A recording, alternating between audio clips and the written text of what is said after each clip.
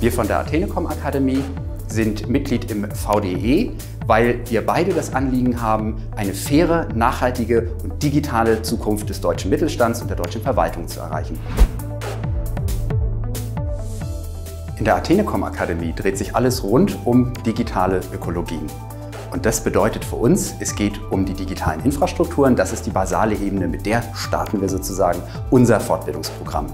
Das bedeutet, auch eng mit dem VDE zusammen, dass wir Fortbildungen anbieten zu den Infrastrukturen, die wir haben. Breitbandinfrastrukturen, Mobilfunkinfrastrukturen und das Ganze geht ja auch bis in die Häuser hinein. Und diese Thematik äh, unterstützen wir mit einem Fachprogramm. Breitbandausbau ist in Deutschland nach wie vor ein wichtiges Thema. Es ist Basis, die infrastrukturelle Basis für alle Aktivitäten, die sozusagen jetzt und in der Zukunft noch wichtiger werden. Der deutsche Mittelstand profitiert von der starken Breitbandanbindung, genauso wie die Verwaltung. Und das ist eine Sache, die wir zusammen mit dem VDE uns anschauen. Und wir in der Akademie haben zusammen mit dem VDE das Thema der Fortbildung und der Qualifizierung von Fachkräften. Ein spannendes Thema, an das wir gemeinsam rangehen. Nachwuchsförderung ist nicht nur ein Thema im VDE, sondern es ist auch ein Thema bei uns in der Akademie. Eine wunderbare Schnittstelle und eine Synergie, aus der wir schöpfen können.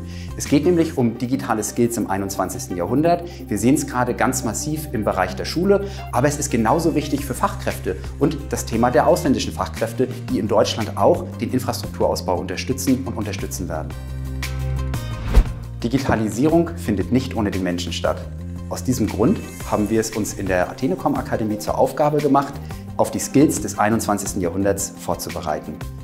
Diesen Themenbereich bearbeiten wir gemeinsam mit dem VDE an der Stelle der digitalen Infrastrukturen. Für die Zukunft ist es umso wichtiger zu gucken, was sind die Trends, die auf uns zukommen werden.